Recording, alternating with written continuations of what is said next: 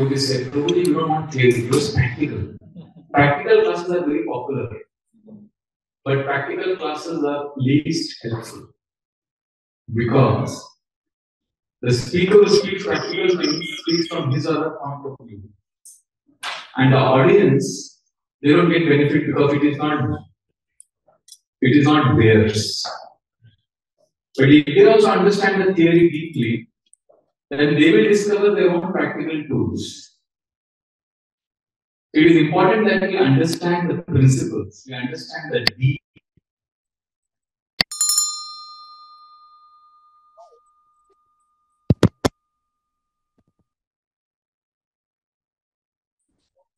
This the. Don't be fooled by practical things. Practical is helpful only if the theory is strong. If theory is not strong, then all the practical methods you will forget after a few days. So today we will discuss first the theoretical foundation of handling our desires. So this is based on Taittiriya Upanishad. Srila Prabhupada explains this in the 13th chapter of Bhagavad Gita. So Taittiriya Upanishad explains, who am I? Once we know who am I, then we will be able to handle ourselves, our desires, our challenges, our problems, our relationships, our wife, family, husband, home, job. Who am I? You ask any ISKCON devotee, immediately he says, I'm not the body, I'm the soul. but that answer is coming from where? Head. But the scriptures want us to go deeper and answer this question Who am I? The level of the heart. We have to go deeper and understand not theoretically, not intellectually. Hmm. So the Upanishads explain that who am I? Who knows the absolute truth? Who, what is the highest? So the, the, the Upanishad says that Brahman vidapnoti param. One who knows Brahman, one who knows the supreme absolute truth, he knows himself. The highest understanding, or I, I, the soul, is when the soul is in union with the highest reality, whom we know as Krishna. So the whole spiritual journey in all paths, Mayavadis, Buddhists, everywhere, they're all on a journey of moving from ignorance to knowledge, from not knowing something to knowing the highest. And we are going to undertake this journey today. And I want you to hear very attentively because this can trigger a spiritual quest in us. Unfortunately, many of us are not on a spiritual quest. We come to ISKCON not looking for Krishna. Many of us come looking for happiness, isn't it? Many of us come looking for good relationships. Many of us come looking for social support. Many of us come looking for community connection. Very few of us are looking for the absolute truth. But ISKCON is going to offer us the supreme absolute truth, Krishna. And for that, we also have to understand ourselves first. Srila Prabhupada told Tamal Krishna Maharaj, first become conscious, then become Krishna conscious. First understand ourselves. So, where is I? Where am I? Who am I? So the scriptures explain, Taittiriya Upanishad says, Yo Veda Nihitam Guahim Paramebhyo Namaha. To know yourself, you have to enter a cave. There are many caves you go through these caves, and then inside you will find you. So you are, you are now going to embark on a journey. You are going to enter a cave now. Listen carefully. Not one cave. There are layers of five caves, which are known as Panchakosha. You enter these caves, the system of five interconnected layers. I'll repeat system of five interconnected layers. It is not that one is gone, then the other one, then the other is gone. No, all are interconnected. All are important. So if you look into yourself in a relaxed fashion, if you spend some time breathing, relaxing, just connecting to yourself, you will see that there are five layers. You can feel it as I'm going to explain an example. You will understand there are five layers covering you. This poetically described in the Upanishad as a cave system. You go through these caves. So, are you interested to enter these caves? Because then you will, if you go through these caves, going through these caves means being attentive. It is theory. But when you hear theory attentively, you go to enter the caves and then you enter and finally you will find yourself. But if you don't pay attention, then you will not be entering the caves. You will be stuck. Hmm? So Vedanta is actually compared to lion, Kesari. See, when the lion roars, what happens in the jungle? All the jackals, wolves, they all run away, right? So similarly, when we hear scriptures, Bhagavad Gita, Ramayana, Upanishads, all the jackals, wolves of doubts, insecurity, everything runs away. Because scriptures are lion, very powerful. Therefore, don't underestimate. If I don't know if we have time today, but maybe tomorrow towards the end, I want to discuss the importance of just coming together and hearing like this. It is extremely powerful. It is a lion so Upanishads, especially scriptures, Srila Prabhupada is a great teacher. See, the scripture speciality they're very good teachers. You know, who is a good teacher? A good teacher will take a student from what is unknown to the known. Right? The, the good teacher is somebody who will take you from near to far, from what is to what can be. Poor teacher is somebody who will speak very abstract, very confusing that you won't understand only like you know poor teacher will speak word jugglery like i remember before coming to ISKCON see i why i fell in love with ISKCON first day only because the simplicity in which they presented Srila Prabhupada's examples were so simple and so easy to understand. That is why this is a very complicated subject, but we'll try to make it as simple as possible. But the audience, the students also have to be attentive. But it is technical, but very simple We'll make. That is a good teacher. Srila Prabhupada gave us many examples. But I remember before coming to ISKCON, I used to go to one spiritual organization. I asked this question. Uh, I used to ask questions and they used to give very technical answers. So then they said, when I used to ask more questions, they said, why don't you wait? Our Guruji is going to come after two weeks. So the Guruji was a very big man. I won't take names and create controversy here. So when that Guruji came, everybody was, the whole hall was packed. And we were waiting, he was supposed to come at 6 o'clock. We were waiting from 5 o'clock. And he came at 7.30. After waiting for two and a half hours, he came. So I thought, okay, it is worth waiting for two and a half hours because he's going to speak something, knowledge.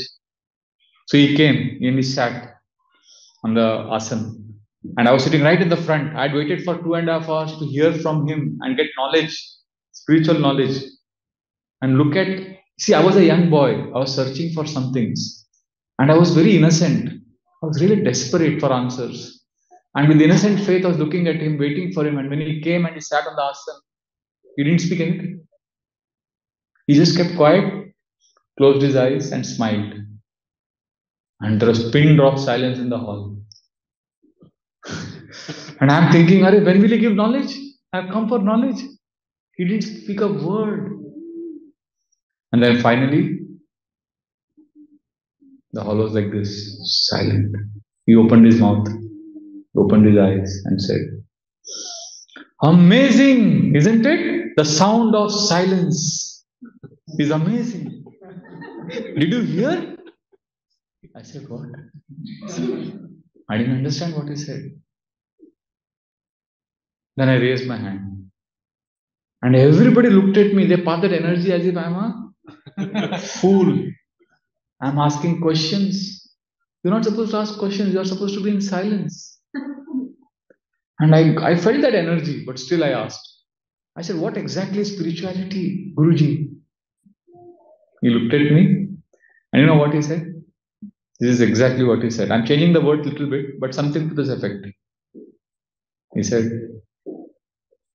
Spirituality is being. Being is life. Life is sublime. And sublime is divinity. Divinity is the essence of being. And therefore, let us be spiritual. And everybody screamed, Wow, what an answer! And everybody clapped. I didn't understand anything. I don't know if you understood. I didn't understand. Oh, I'm feeling relieved. I thought I'm Buddhu. and everybody there was intelligent. So I thought this organization is too much for me. I cannot enter. But I came to ISKCON. I was so happy. Srila Prabhupada's example. For you are not the body, you are the soul. What example Prabhupada gave? What example, famous example Prabhupada gave for saying you are not the body, you are the soul?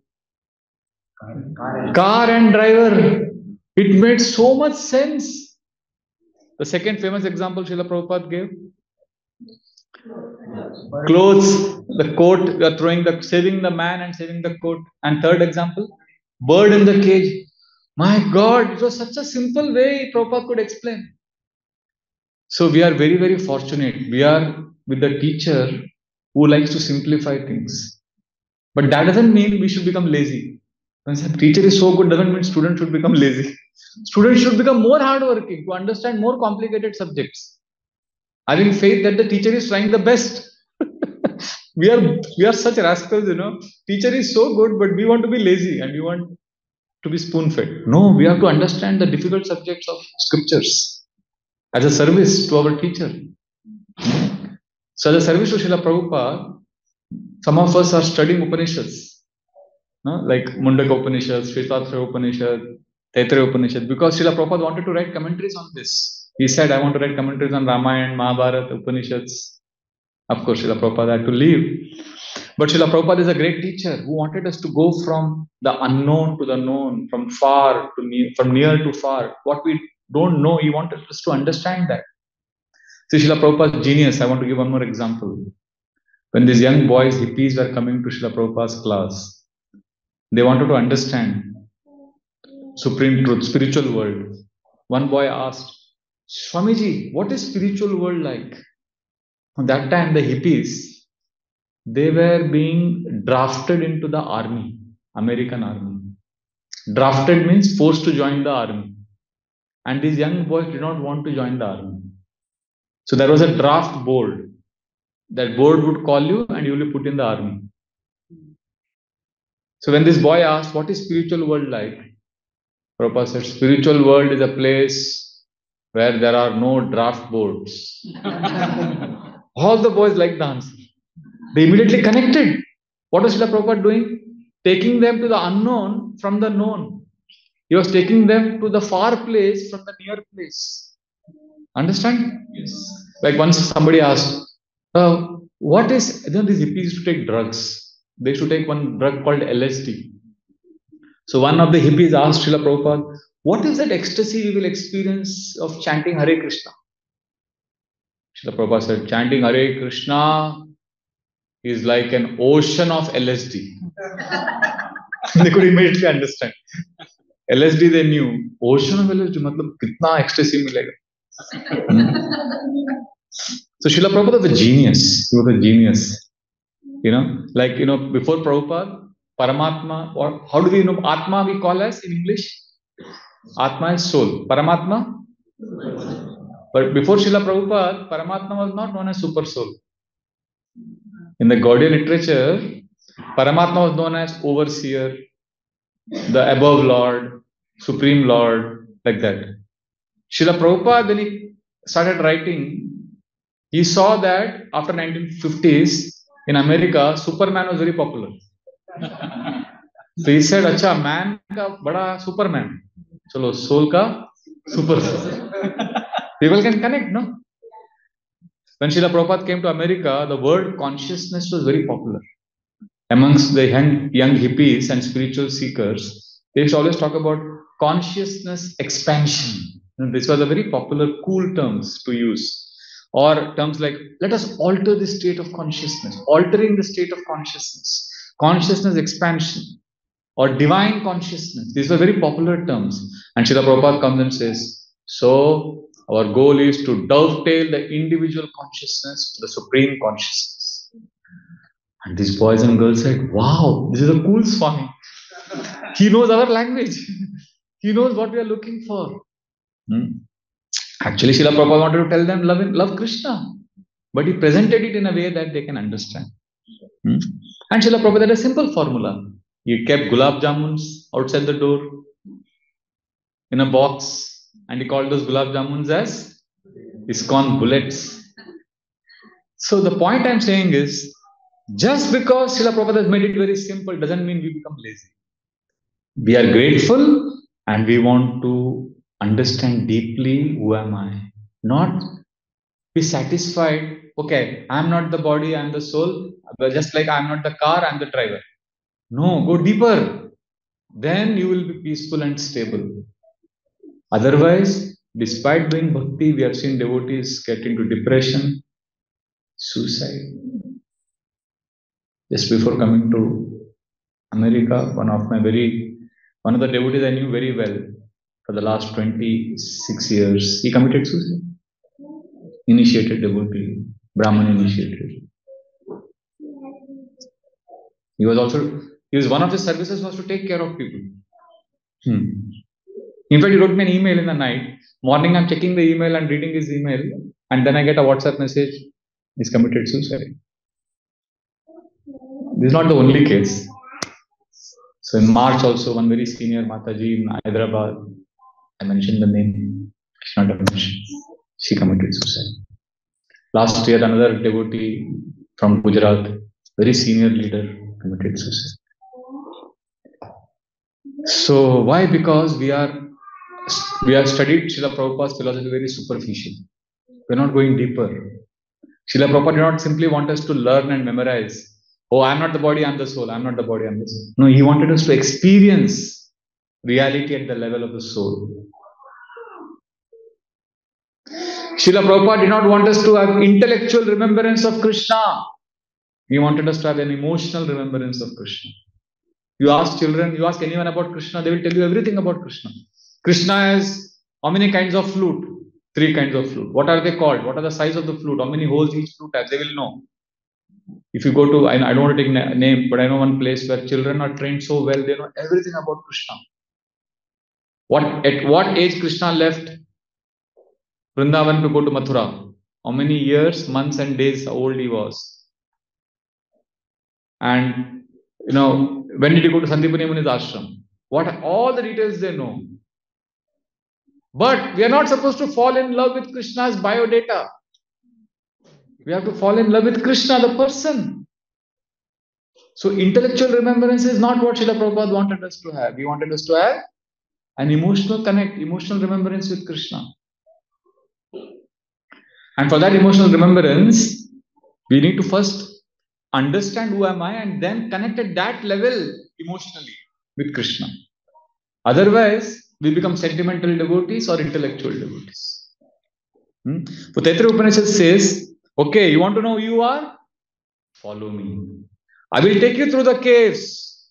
I will make the most difficult subject easy to understand.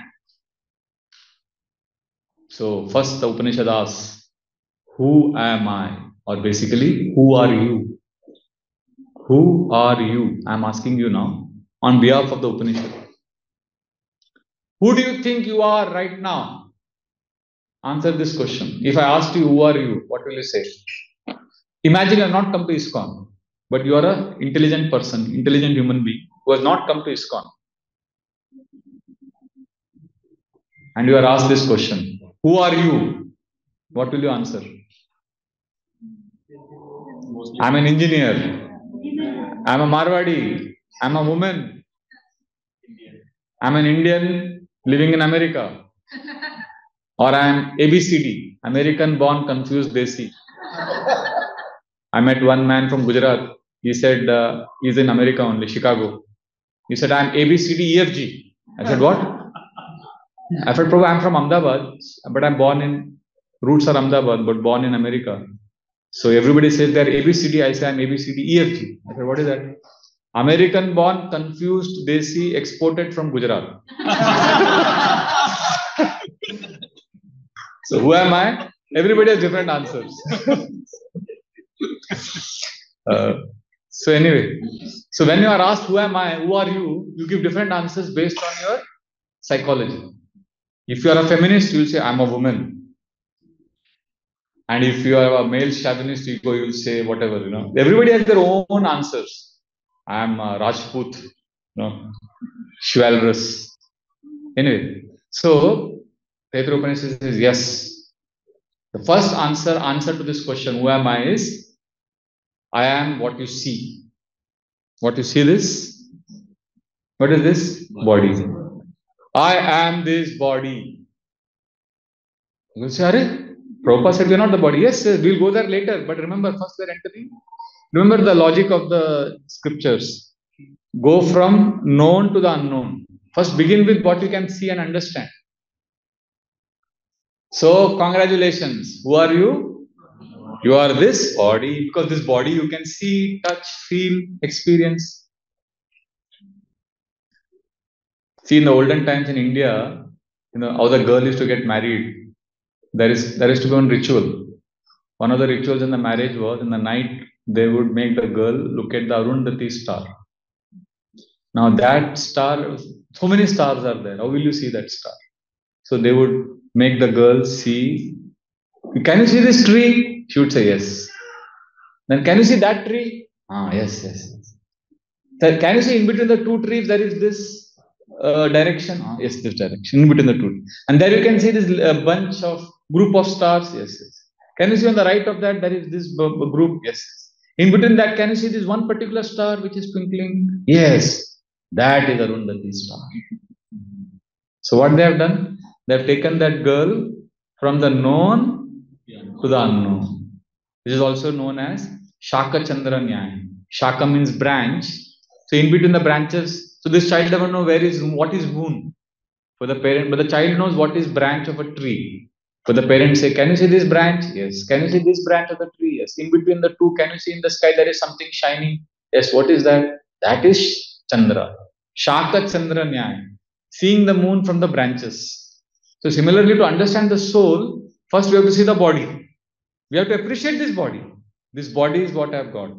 So, you are the body. We'll start from the body. And this body in Upanishads is called as Annamaya. Anna means food. Maya means made up of. So that which is pervaded by food is called as Annamaya. So you are eating food, you are drinking. So that is. So who am I? Annamaya. I am Annamaya. I am this body. One scientist said, Who are we? The food that is rearranged, the food that is on the table, has now gone inside. We have eaten it. So who am I? The what is this body? The scientist said it is simply food rearranged. food, food on the table. It, it went inside. It got rearranged. So that is you. That is this body. So in the Vedanta, this body is known as Annam. So, and unfortunately, you all know this very well. Even if we are not come to most of us cannot think beyond this body. Even as devotees, we can't think beyond this body. We're always conscious, body is paining, this is happening, that is happening. Body, we're very body conscious. People look in the mirror for so long. In Mumbai, one of the housing societies, the people are complaining that the lift is very slow. so that lift company, instead of changing the lift, they just put a big mirror inside the lift. but then the complaint stopped. People are busy looking at the mirror. One Italian actress, very famous actress, Sophia Loren, she was asked, What is the secret of your beauty? She said, Pasta. You know, I eat pasta, so I'm beautiful. So they can't think beyond body, beyond food, beyond this bone, flesh. Hmm. So then the Upanishad says, Well, so you are this body, congratulations. But wait a minute. Are you really this body? This is the question the Upanishad asks. You say, Yes, yes, I am this body. And the Upanishad says, But uh, are you aging? Are you getting old? These are disturbing questions. You know, nobody outside world they don't ask this question. If you are talk to your office friends, death will come one day. One day we'll become old. They will think, Hurry, you are pessimistic. they don't like all this. But if you're a student of Upanishads, see Srila Prabhupada, what he did, you know, he digested all the Upanishads. He, he understood and he prevented it in such a simple way that even a child in ISKCON becomes expert in big, big Vedanta. Our children in ISKCON, they can speak the essence of Vedanta, the great Vedanta Pandits will be shocked. It is not because the child is smart, because our Prabhupada, Srila Prabhupada is so smart that he has made a child also expert. And when children speak so wonderfully. Anyway, so Srila Prabhupada, how he explained to us, how graphically explained to us that we are not the body. You know that story narrated of Bhaktisiddhanta Saraswati Thakur's famous story? You know that story? Liquid beauty, you know? Mm, yes. Very graphic. For some other day, we'll see. One man was in love with a girl and he kept proposing to her. She kept refusing his advances. So finally, to teach him a lesson, she called him after two weeks or something. And then she took laxatives and she stored all the, she vomited and passed stool and all that she stored in big containers. And after 15 days, after one month, whenever he came to see her, he couldn't recognize her. He said, Where is that girl? I love her. I want to meet her. She said, She is there in this box. and he opened and ah. so all our attraction for each other in this world, the beauty that we're attracted to, Srila Prabhupada would say, it is for this one centimeter of millimeter of skin, flesh. This, this beauty that we're attracted. Just imagine the most beautiful, think of the most beautiful man or woman you know of the opposite gender. And just imagine you know this most beautiful woman, she's standing next to you. You'll be very excited. But imagine from her head, top to the toe, this one millimeter of this skin is peeled off. And she's standing next to you. and you are standing next to her. How will you feel? You will need a stick. Big stick to, standing next to her to drive away all the vultures, crows, which will want to feast on our body. So the beauty that we're attracted to, the body that we're attracted to, the Upanishad says is temporary, it is illusory, it is fleeting. Hmm. And it is filled with suffering. Nabadvara Purede. This body is a city compared in the Bhagavatam to the city of nine gates or nine holes. This body has nine holes and obnoxious substances come out of these nine holes. And this body is a source of deep embarrassment. So the Upanishad says, You are this body, but this is what happens to your body. Are you aging? You are a child. Now you become old. Are you the same person or are you different person? You will say, I'm the same person. If you are the same person, then how can you be this body? Because the body has changed. Right? One poet said, I was a little boy, I was a little boy and playing on the lap of my grandfather. I am now sitting with my grandson on my lap. You understood? Yes. So much change has happened, but I'm the same one. Hmm? We all go through this change. So the Upanishad says, then how are you the body? The body has changed. But you are the same person. When we were children, like these children here, we used to play cricket in Mumbai. And when we used to play cricket, the ball would go to some elderly people and spontaneously we would go to them and say, Uncle, Uncle, ball de do. That is how in India children address grown up people. Uncle. They may not be your relative, actual uncle. But that is the culture in India. Namaste, uncle. Namaste, auntie. Uncle. Uncle ball de do. That's how I grew up playing cricket all my life. Then at some point of time, I joined the ashram, busy doing seva. I think a few years ago when I was going out for some seva and children were playing cricket and the ball came to me. I picked up the ball and suddenly I heard the children shout, Uncle, uncle, ball de do. But uncle? I became uncle. When did I become uncle? when did I become uncle? When did this happen? ये क्या हुआ कैसे हुआ कब हुआ क्यों हुआ जब हुआ हमने जो देखा था, सुना था, क्या बताएँ, वो क्या था? सपना सलोना था खत्म तो होना था। हुआ, ये क्या हुआ? That's a song like that very deep song written by Anand Bakshi ji so the point is this body is changing so John Pfeiffer very famous neuroscientist he wrote in his book called the human brain that every seven years all the chemicals in the body go to change that means if you are uh, 42 years old that means you have gone through changes how many times? Seven. Six times your body has completely changed. But if you're a 42 year old person, do you remember something that happened in your life when you were five years old? How can you remember? The body has completely changed. That means something has not changed. So that means you cannot be this body. You are somebody different from this body. This is how we have to understand. Hmm? So the Upanishads ask simple question. Do you know this body? Do we know this body? Yes, we know something we know, right? I can feel, I can know our body is paining. Do you know this body? Yes. That means you are not the body. Are you getting this? Yes. Please understand this. It's a very deep, deep topics. I know this is theory, but please understand this.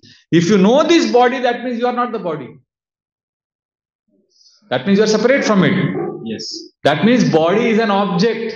Like, do you know this watch? Yes. Do you know this bag? Yes. That means this bag is different from me. Do you know this body? Yes. That means body is an object. Are you aware of this body? Yes. Can you see the body? Yes. Can you touch the body? Yes. Can you smell the body? Yes. Can you feel it? Yes. All five senses can perceive. That means the body is drishya. Drishya means seen, known. And who am I? I am drishta. I am the seer, observer. Does the body see you or you see the body? You see the body, right? I am looking at the hand. There is a difference between the object and the subject. So this body is a subject or object? Object. So you see the hand, right? I never get the feeling that the hand is looking at me. it looks so weird, right? Think about it. hand is looking at me, Prabhuji. नहीं होता ना ऐसा so i am drishta hmm?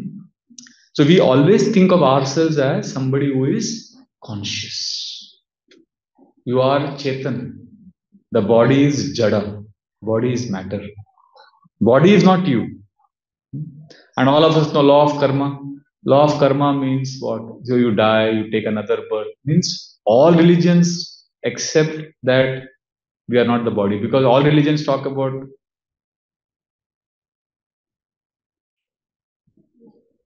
life after death. Right? All religions talk about life after death. Qayamat ka din, the day of judgment. We'll all rise from the dead. So, except I think Charvak philosophy, every every philosophy talks about that we are not the body. So, body is basically vikari, it goes through change. But I am avikari, I don't change. Body is drishya, seen, but I am drishta. Body is an object, of experience, but I'm, I'm, I'm the experiencer. And body is jada, unconscious, and I'm conscious, chetan. So therefore, Upanishad says, go beyond this cave. I am not the body. This cannot be me. I have to be different from this body. Then slowly it takes us beyond the next cave. Oh, then who am I? Anyo Antaratma Pranamaya. The next verse says, you are pranamaya, you are not annamaya. Pranamaya? Look deeper. See your own body. See inside your body. You will see that there are more sukshma, more subtle things happening inside. What is there inside this body? What, what is pervaded inside? There is life. All of you experience life force. That feeling, I'm alive. That life force is you. That is what the Upanishad says. Like you breathe in, breathe out. Then you breathe slowly. Just breathe slowly for five seconds. Inhale and exhale. Did you hear? If you are attentive, you will hear the soft sound of the inhale and exhale breath. That is pranamaya. That is the life force. So the Upanishad says, You are that. Because the body inside is pervaded by this. That is called prana. This life, what we call in English as life force. In Upanishadic language, it is called prana. In yoga, those of you know yoga, we do pranayam, breathing. So, what does prana do? This inside life force, what does it do? Anybody knows? What does the breath? What does that uh, life force do inside our body? Hmm? Life force. What is what is the main thing it does inside? It supplies. Ah, yes. Oxygen gets assimilated in the blood because of prana, life force. How is the blood flowing through the veins? Because of the prana, because of the life force. You eat food, how does that food get converted to energy? Because of the life force, because of prana. So much is going on inside. Lot of variety of biochemicals are produced in the body. Actually, one little liver produces enough chemicals that a 500 acre factory can produce. Hmm. Anyway, so all these life processes are surging through me inside, going up and down. And it maintains our body, it keeps us alive and gives us experiences, differences. That's why prana is me. See, I come from Udupi. In our Madhva Sampradaya, our Lord Hanumanji is called as Prana Devaru. Devaru means God, Prana means life force. He is the Lord of life force. So our experience of breathing, that is prana. Anybody feels hungry?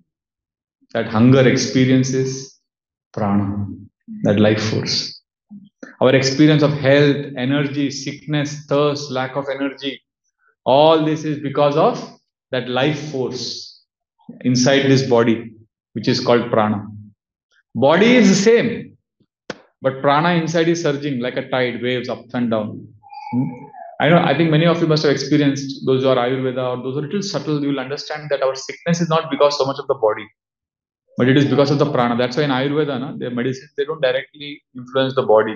They actually change the life, the prana inside. So this prana force is what keeps the body in action. You are able to run around, do things because the prana is proper, life force is proper. But then you will say, after all this, you will say, Yes, I understood who am I. I am not the body, I am the prana. I am the life force. You may say, Very good, I understood. Now Taittiriya says, Wait, wait, wait, wait. Go deeper. If this prana changing, body is changing, we know. Does this prana also change? Yes. What is the proof? Sometimes you are energetic, Sometimes you are tired. Are you always healthy? That means something is constantly changing. This prana is constantly changing, but you are not changing. You were sick. Now you got cured. Prana has changed. So prana is also drishya. It is also seen, experienced. But you are drishta. You can perceive. See, if you breathe now, let us do this for few seconds. I'll tell you what to do. When I say start, listen to me carefully. Inhale to the count of four, hold your breath for two seconds, and exhale to the count of four, but not, not like this. Not stiff, not loud. Normal. Slow. And that sound of the inhaling and exhaling breath. Try to listen to that. Again, I'll tell you, not stiff. Not like this, you'll fall asleep. But sit with grace, straight. You can do it? Yes. Start. Listen to the sound of breath.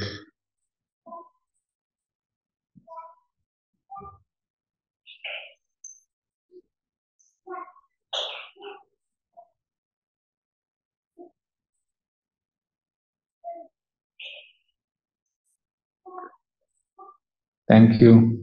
Hare Krishna. You can go and do this for a longer time. you will see that your prana is changing and all the kachra, all the negative thoughts in your head, they all go out and there is balanced prana and you will feel Sanatan Goswami writes this in his Haribhakti Sudhodaya, Haribhakti Vilas about the need for doing pranayama. But this will cleanse our the inside of us. The prana gets cleansed. But the essence is prana is also changing. But I am avikari. Prana is vikari. Prana is jada, but I am chetan. Prana is drishyam, but I am drishta. So I cannot be this prana maya. Taittiriya Upanishad first asked you to go deeper and reveal that you are prana. Now the Upanishad says, sorry, you are not prana. Why? Because prana is also an object and you are a subject. That means you are beyond both Annamaya and Pranamaya. Then you say, then who am I? The Upanishad says, Anyo Antaratma Manomaya. You are Manomaya. Manomaya means you are your thoughts, your emotions, your feelings, your personality. That is you. Many people who are not Hare Krishna devotees, and you ask them, who, who are you? Go deep. If you tell them, go deeper, don't tell me your name or caste. Who are you? They'll say, I am a phlegmatic personality. Or, you know, there are personality types. Uh, what is that? Sanguine, choleric, all that different types of personalities are there. So they'll say, I'm type 1, type 2. So we identify with our personality. If we're not Hare Krishna devotees, we identify generally with our personality. That is manomaya. My thoughts, my emotions. I'm short tempered. I'm jovial person like that. So then Upanishad says, yes, you are that. You are your personality. Most of educated people, most educated people I know, they identify themselves with their personality. They will not identify themselves as Brahman, Marwadi, Chi. We don't believe in all this. But they are stuck at Manomaya. They may not be at Annamaya, but they are stuck at Manomaya. Actually, even as devotees, you know, despite chanting japa for 30 years, somewhere we think of ourselves in terms of my thoughts, my ideas, my likes, my dislikes. And if somebody doesn't like what I like, we have differences of opinion, we don't like that person. Ultimately, we are stuck at Manomaya because we we identify I am Manomaya. That is our state. See, please and please know one thing, huh? I'm talking all this theory. Next class, there will be so many practical examples and you will understand your day-to-day life in ISKCON based on this five. But if you don't, if you're not attending today, tomorrow you will not understand anything. Everything will make sense to you. All the case studies will make sense to you when you know the difference between Annamaya, Pranamaya, Manomaya and Vijnanamaya and Anandamaya. Otherwise, you will not get it. Because you can see your own life, how your life is, what all the problems are happening in your life and how you can avoid getting depressed how you can avoid getting into suicidal thoughts, how you can avoid being miserable being a devotee. All the answers you will get if you understand these five questions. So please understand Annamaya and Pranamaya. I hope you understood. Yes. Hmm? Now Manomaya is also very interesting. It's all about thoughts, feelings. Most people are uh, are stuck here. So they say, yes, I am this personality. But Taittiriya Upanishad says, wait, wait, wait. Not so fast. You are, are you really your personality? Because, simple question, because Manomaya means mind. Personality is basically the mind. Right? Mind. So the Taittiriya Upanishad says, are you aware of your mind? Are you aware of your thoughts? When you are happy, are you aware? Can you be aware that you are happy? I'm unhappy, Prabhuji. Or you only react unhappily. Sometimes you are angry. Some people are angry. They just shout. When I was a young boy, I was very afraid of my mother, but not afraid of my father. So I was very afraid of my father, but not afraid of my mom. Because my mom, when she would be angry with us, she would come and beat me. Predictable behavior. So when she was angry, she would just hit me hard. But my father, you know what he would do? He would look at me and he would have a wry smile and very grave. And he would say very softly, Son, um, right now, I'm feeling very, very angry with you. I would get very scared. Because in that sentence, what is he saying actually?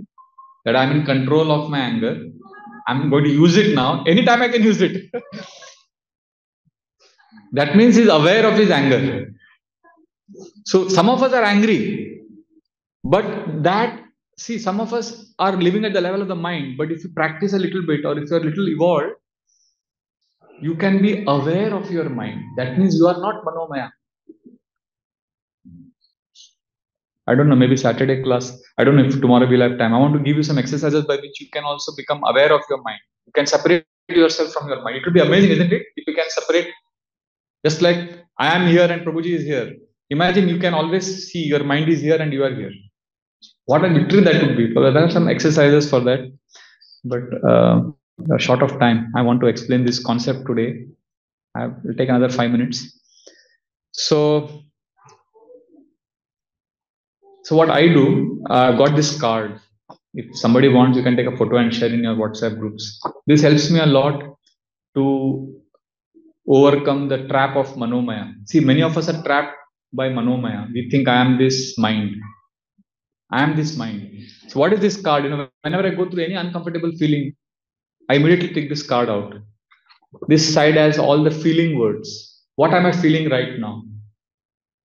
I'm feeling insecure. See, some word will resonate. One or two words resonates when I see this. And I see one word, okay, this is what I'm feeling. Ah, I'm feeling this that awareness is big relief जय राधा गोपीजन वल्लभ भगवान की जय जय जय श्री श्री निताय पतित पावन गौर हरि की जय Did you understand what I said just now? Yes, yes. But then what happens? These feelings come in us because of some needs that have been met or not met. But then I turn the page and I see the list of all the need words. So that what is my need? oh I, I, I need for okay companionship connection I, I need connection and companionship right now. And because this need is not met i'm feeling insecure and lonely. So you see this. But then when i come in front of krishna i am more clear in my prayers. I know what i'm krishna i need strong friendship. I need companionship. I need connection krishna. And because I'm not getting that, I'm feeling insecure. I'm feeling lonely, Krishna. Please help me. So I can offer my needs and feelings to Krishna and I can separate myself from my mind. So then I'm not in Manomaya trap. I'm not, I'm not living like the karmis, the non-devotees. I'm now separate. So the point is we need to separate ourselves. These needs and feelings card helps us go beyond Manomaya push. अच्छा कोशा पंचकोशा कोशा means what you know sheath have you seen a sword where is the sword kept उसको म्यान बोलते हैं हिंदी में you know sword is kept in a sheath. It is taken out from that sheath. So the soul is covered by this sheath. That sheath is called kosha. So the soul is covered by at the topmost outer outermost covering is annamaya then pranamaya then manomaya. Hmm? so i want some desire. So see we have all have needs feelings so and when our identity is merged with that, then we are trapped by Manomaya. But if we can separate ourselves, so then we are not the. So basically, the idea is I am not this mind. Annamaya is I am not the body. I am not the prana. I am not life force. Just like body is experienced, mind can also be experienced. You can experience your thoughts. Hmm? Mind also changes. We have 16,000 thoughts every day. We are not these thoughts, right? Are you the thoughts or are you the one to whom these thoughts appear? You are the one to whom these thoughts appear. You have many desires, but you are not those desires. You are the one to whom those desires come. Imagine if you were those desires, then you would be bipolar, schizophrenic. yes, right? That is how it is. When you think you are two personalities, that is bipolar. In economics, I was an economics student. So our basic foundation was human desires are infinite and the resources are finite. And that's how economics was born. So desires are many. That means I cannot be them. I cannot be those desires.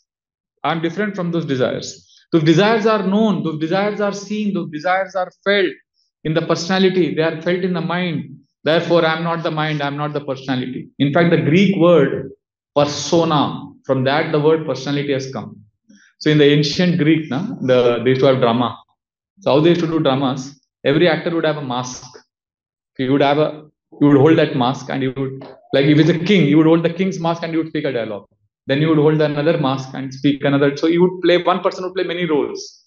So that mask which they were holding, that was called as persona.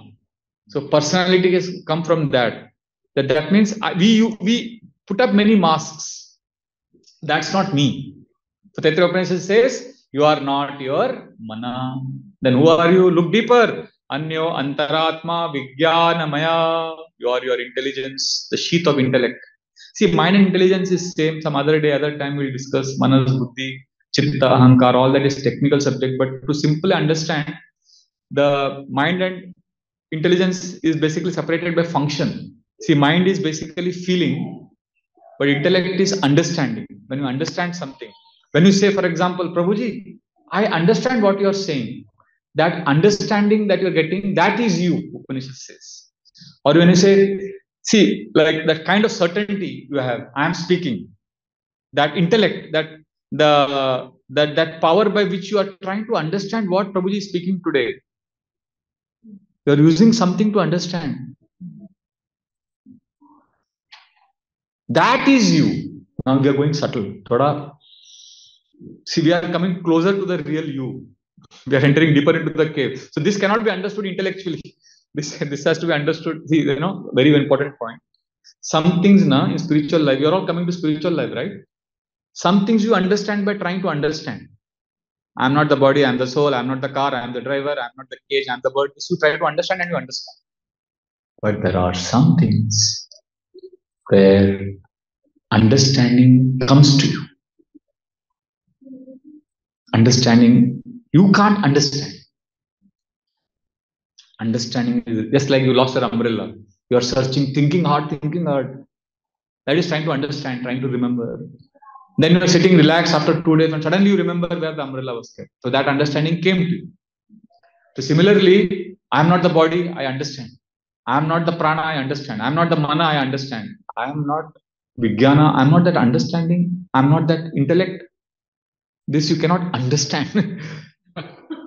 You have to breathe, you have to relax, you have to allow this to be revealed. It's slowly we are going deeper. See, as I'm trying to speak, as I'm speaking, whatever I'm saying, see, you are trying to understand, right? What I'm saying. What are you using to understand? Buddhi. You are using that buddhi. So the that is you. Upanishad says that buddhi, that intellect is you. If you say, Prabhu, I understand your class, that is Vijnanamaya in action. Or if you say, I don't understand what you are saying, that not understanding, that awareness of not understanding, understanding. Now, are you aware of your understanding? Yes, I get it. I understood probably what you are saying. Or if you say, I'm confused, that means you are aware that you are confused. that means you are you are beyond that understanding and not understanding. That means you are not Vijnanamaya kosha. You are not Vijnanamaya. Because then your intellect also becomes an object. It is also Drishya. Of course, it is subtle. It is very close to the real I.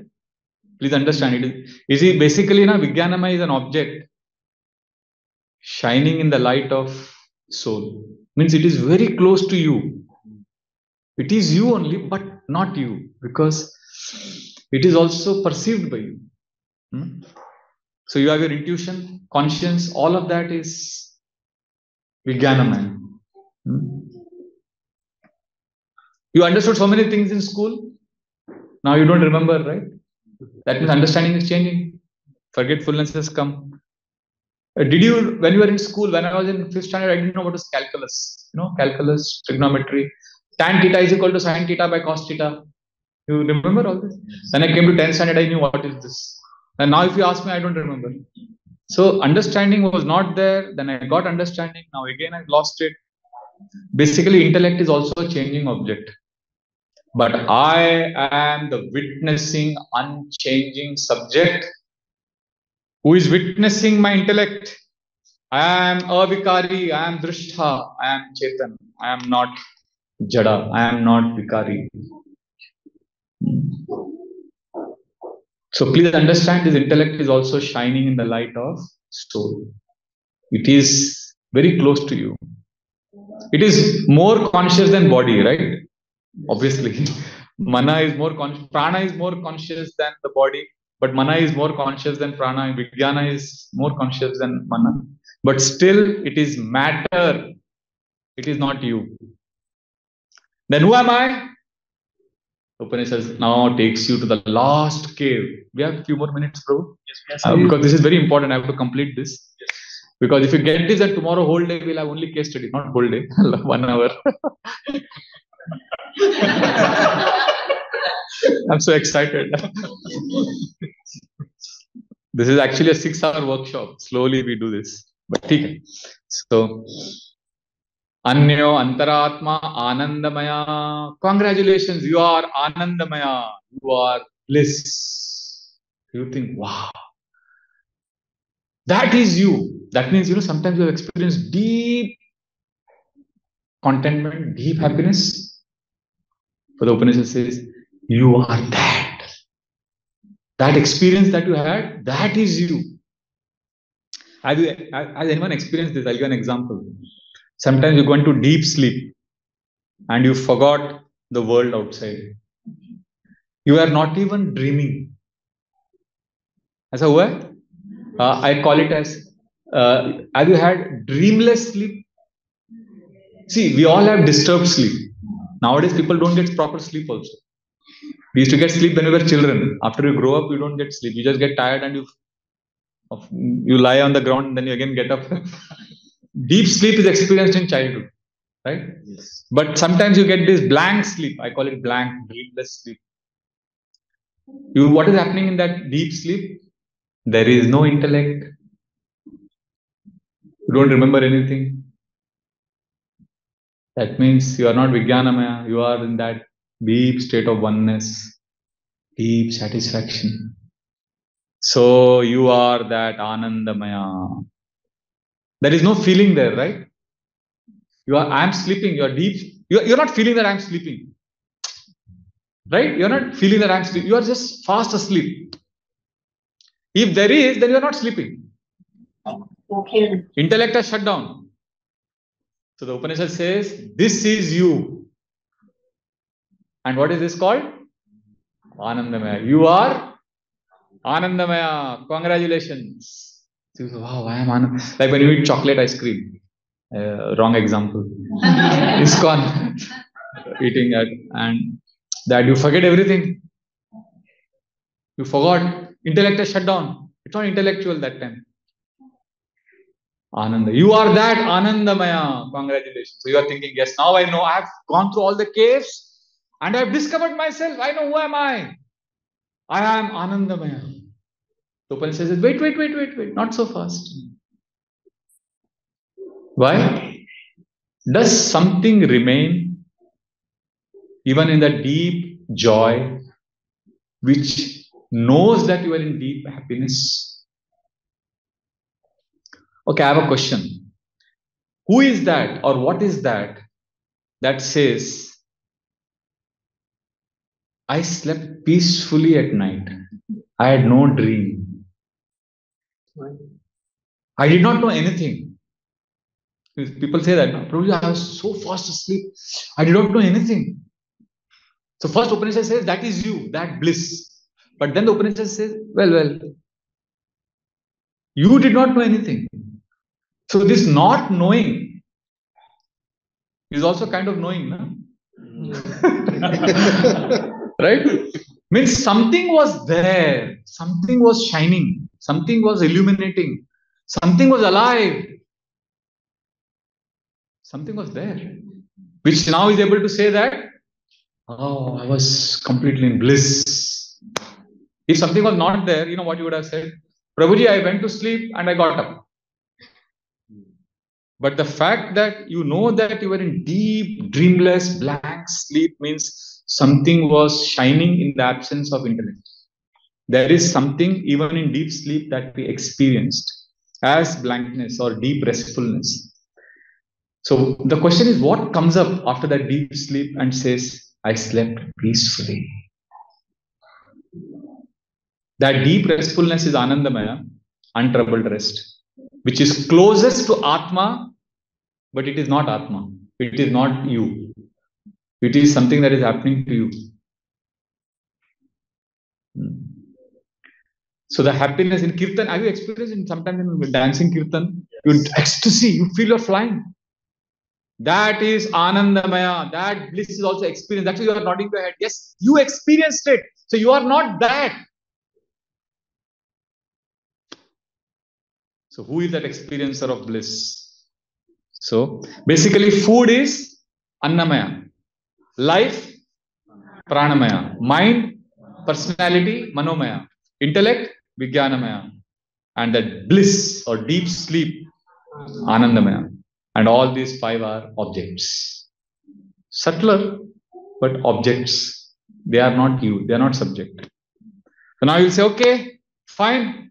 Upanishad has taught me, has taken through taken me through all these caves, and I understood I am not this, I am not Annamaya, Pranamaya, Manomaya, Vijnanamaya. Then who am I? Tell me who am I? The Taittiriya Upanishad is at this point of time quiet.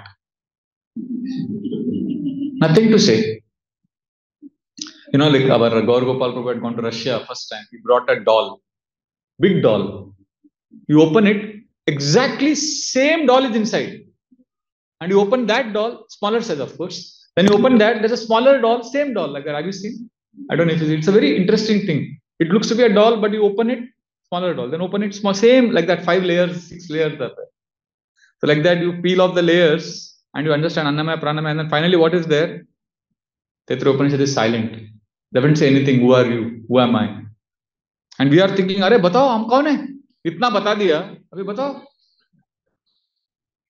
See, our problem is we are thinking soul is outside somewhere.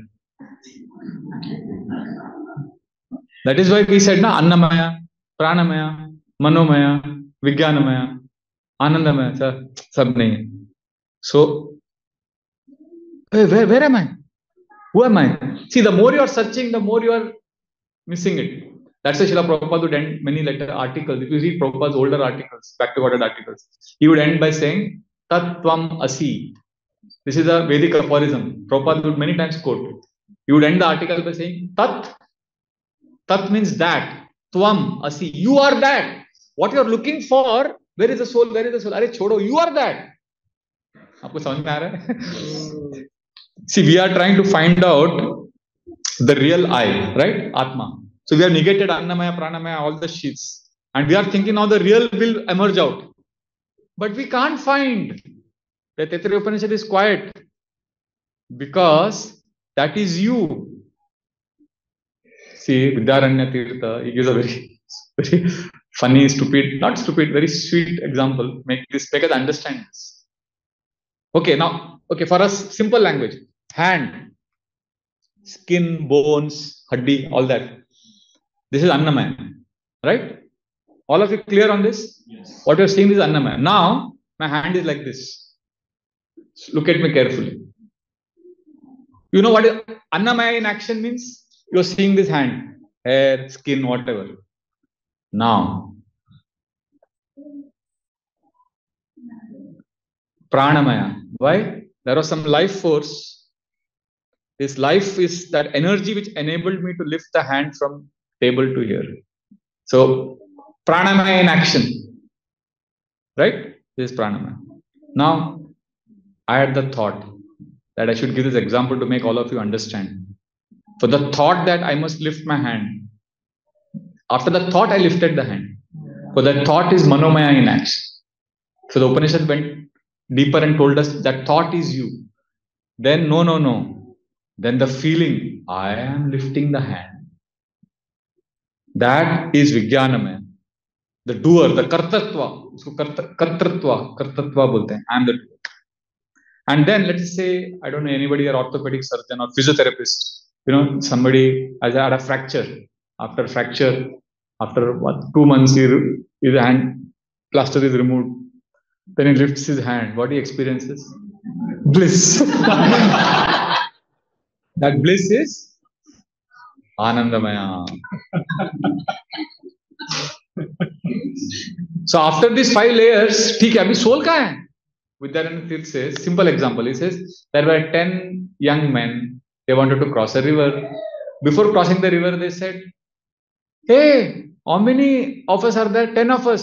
Let us cross the river carefully, okay? Okay, let us cross the river carefully. So they all crossed the river, they came on the other side, and they said, Has everyone reached safely? Let me count, let me count. He counted. One, two, three, four, five, six, seven, eight, nine. Hare? When we entered the river, we were 10. Now we are 9. The second fellow said, No, no, no, there is a mistake. Let me count. 1, 2, 3, 4, 5, 6, 7, 8, 9. So everybody counted. How many they counted?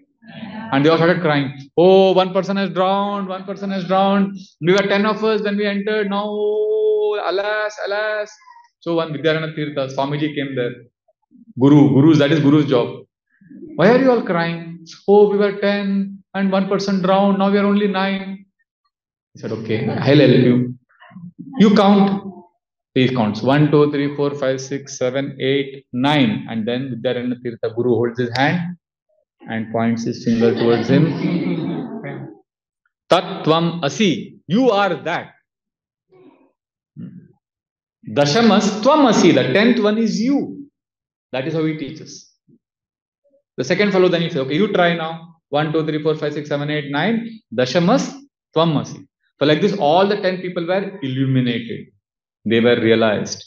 So we have seen the five sheets, Annamaya, Pranamaya, Annamaya. Okay, then who am I? अरे यार तुम वही है तुम जो देख रहा है तुम वो है See, you said, now I experienced, when I asked you, did you do experience the five sheets? You said yes. That means there is an experiencer. If you say, yes, I'm an experiencer, okay, but I want to see that experiencer. See, when you say that, you are that means you're looking for an object.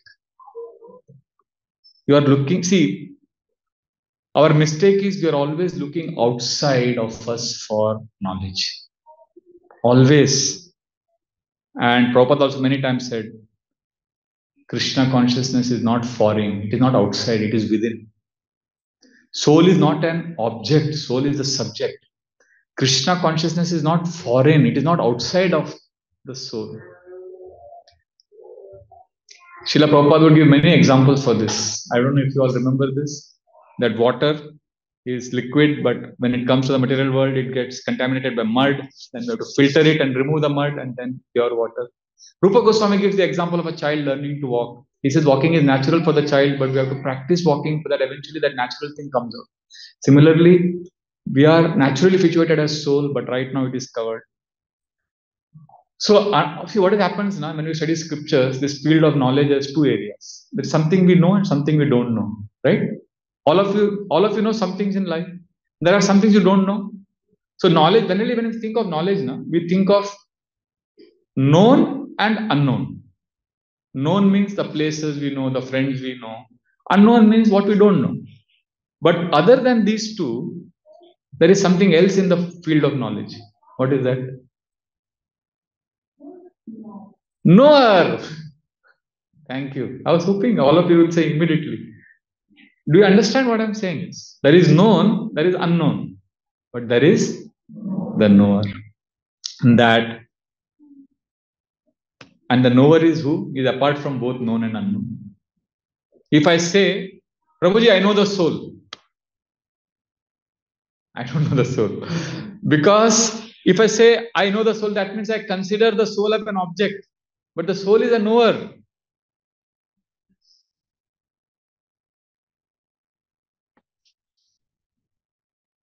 So now you say, okay, but I, I, I am the soul. So how do I know the soul? Wait. So to know the knower, to know the soul, please be with me, don't get lost. To know the soul, to know the knower, you don't need external things. Now we are going deeper. Just give yourself some time. See, okay, I'll give a simple example to make you understand this. How do you make milk sweet? Add sugar. So that means to make the milk sweet, you add sugar. That means to know something, you have to add consciousness. Like, I don't know this microphone, but if I learn about it, if I add knowledge, if I add my consciousness to it, then I know this. So to know something, we have to add consciousness. That is the way things happen.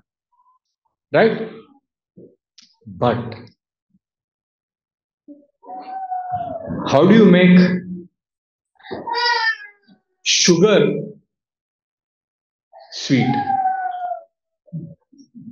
How do you make milk sweet?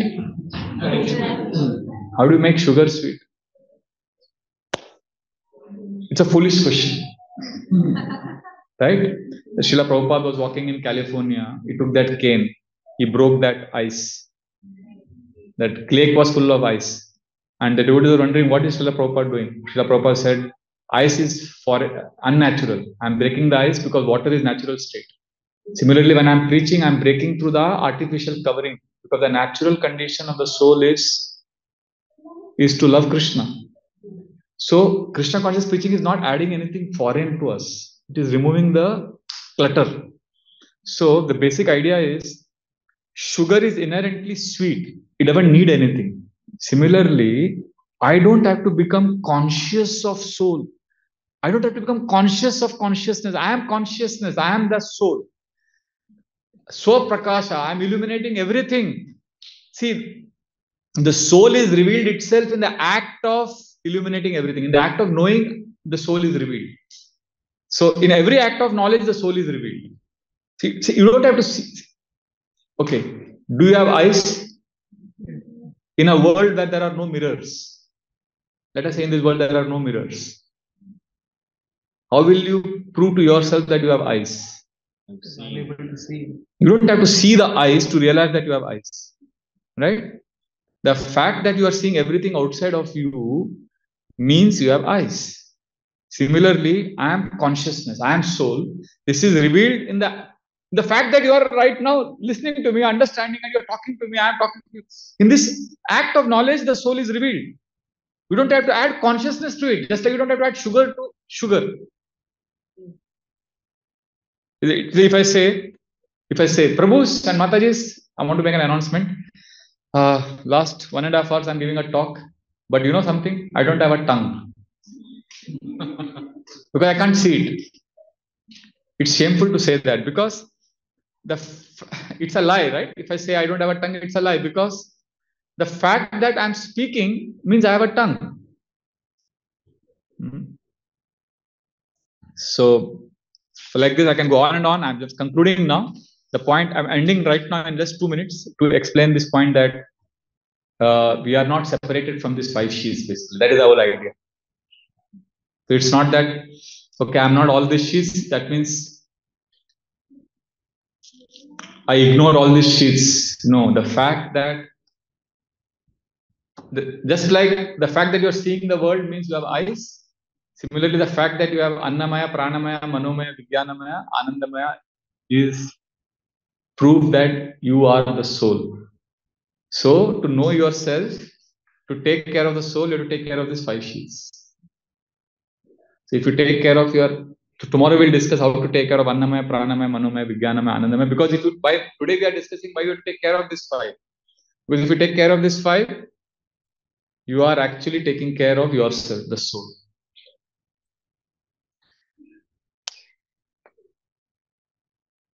Don't don't be foolish. Don't think, okay, I have to go beyond all of this and then see the soul. No, you are the soul who is seeing this. See, it is like saying in the ocean, you've seen the waves if somebody comes and says, Oh, look deep into that wave. If you look deep into that big wave, you'll see water. Are, that wave. You don't have to go deep anywhere. That wave is itself water, right? Similarly, soul is not deep inside these five layers. The soul is manifesting through these layers. So if you take care of these layers, if you take care of your body, mind, your prana, you do yoga, all of this means you are taking care of your soul. So, as devotees, please, my dear devotees, don't ignore your health, your emotions, your relationships. Work, and there are different ways we can work on all of this.